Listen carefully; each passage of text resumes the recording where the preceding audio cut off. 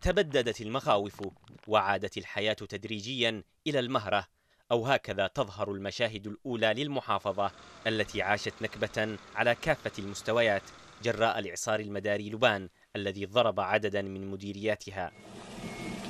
حولت الكارثة الطبيعية المهرة إلى أطلال وتسببت بوفاة 14 شخصا ونزوح نحو ثمانية آلاف بعد أن دمرت منازلهم وجميع معداتهم وأصبحوا بين ليلة وضحاها مجردين من كافة ممتلكاتهم المادية.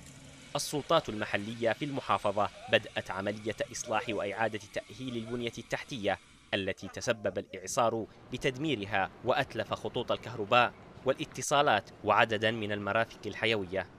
محافظ المهرة راجح باكريت أكد أن المحافظة بدأت تستعيد عافيتها مشيرا إلى أن فرق العمل والصيانة الهندسية نجحت في إعادة التيار الكهربائي ومياه الشرب إلى بعض المديريات بصورة كاملة. الكهرباء رجعت بنسبة كبيرة آه، للمحافظة حوف بنسبة 100% المسيلة آه، لا زالت الكهرباء والماء مقطوع فيها.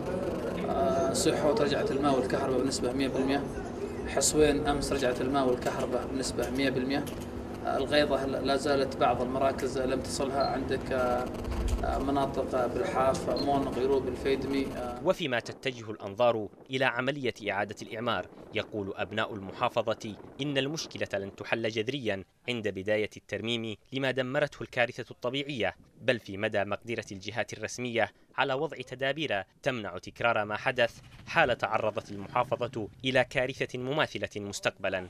وهي تخوفات عديدة يعيشها الأهالي بين فترة وأخرى.